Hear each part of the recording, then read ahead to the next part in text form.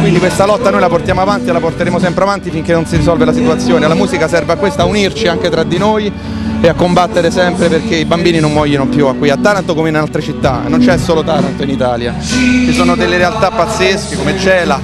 come Chirra in Sardegna dove c'è il poligono militare, dove si muore per l'amianto, dove si muore per i proiettili all'unario impoverito. E l'Italia ha bisogno di pulizia mentale e pulizia veramente nel cuore, soprattutto mi rivolgo, lo ridico ai politici, a me non mi interessa chi sta al governo, mi interessa che si risolvano le cose.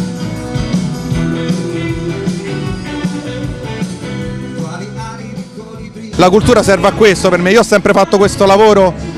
perché ho fatto l'operaio per 15 anni ed ero stufo di vedere gli operai trattati così, massacrati, come diceva Rino Gaetano, mio fratello è figlio unico e allora questo figlio unico deve diventare fratello di tutti perché si possano risolvere tante situazioni contro lo sfruttamento anche degli operai, mal pagati, sfruttati, derubati, per vedere poi i conti di questi sporchi maledetti affaristi a Panama e non se ne può più, questa gente deve morire, deve sparire.